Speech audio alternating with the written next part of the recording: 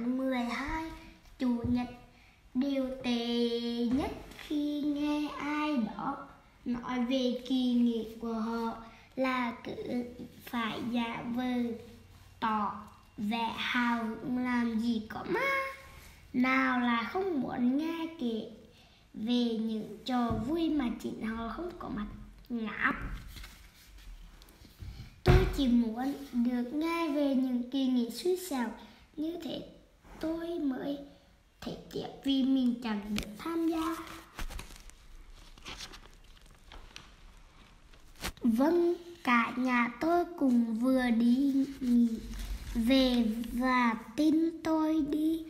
Dạ mà được, thì tôi đã ở nhà cho xong. Nhưng tôi đâu có được chọn lựa. Vài tuần trước chẳng ai nghĩ đến có kỳ nghỉ này chúng tôi còn đang trải qua một tháng 12 bình thường và tôi đang ngóng chờ đến Giáng sinh nhưng lúc ấy, bố mẹ quá mệt mỏi với những việc phải làm để chuẩn bị sẵn sàng cho lễ Giáng sinh. Gia đình tôi đã bị chậm trong việc trang hoàng nhà cửa rồi, thế mà mọi chuyện còn chẳng ra, diễn ra một cách suy xẻo xuân xẻo tôi dám cả cả là chúng tôi có thể đi cùng nhau chuẩn bị kịp cho lễ Giáng sinh, nhưng tuổi nọ một đoàn quảng cáo trên TV làm đảo lộn tất cả trốn tới nơi sang trọng, trốn tới thiên đường. Đoàn quảng cáo nói về một nơi có tên là Isla Corrales nơi bố mẹ tôi đang nghỉ tuần mệt lý do tôi biết chuyến này bởi vì một người nơi đó xuất hiện trên TV họ hôn nhau đám đuổi, chụt chụt. Tôi cảm thấy không thoải mái khi về bố mẹ.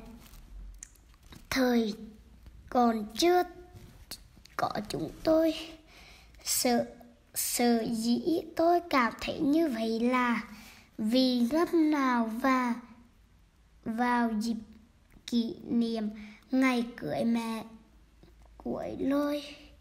Ra tập ảnh kỳ nghỉ trăng mật vào đêm sau, đoàn quảng cáo kia xuất xuất hiện bố mẹ thông báo năm nay chúng tôi sẽ không tổ chức Giáng sinh thay vào đó. Sẽ đi nghỉ ở Isla de Corrales khi tôi hỏi làm thế nào để chúng tôi mang được những món quà, khu nghỉ dưỡng mà nói chuyện, đi này chính là nơi món quà rồi.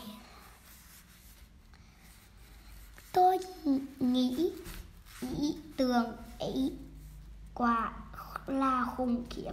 Và thật ngạc nhiên là bố lại đồng ý ngay lập tức. Thường thì bố không thích vui tiền quá nhiều và tôi chắc chắn khu nghỉ dưỡng này sẽ ngốn cả gia tài.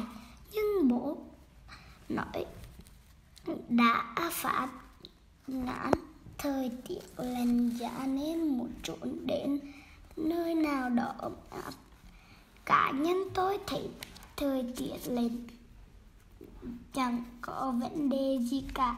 Nói là thời tiết ngoài càng thì tôi lại càng khoái. Ship. Xong hết chuyện.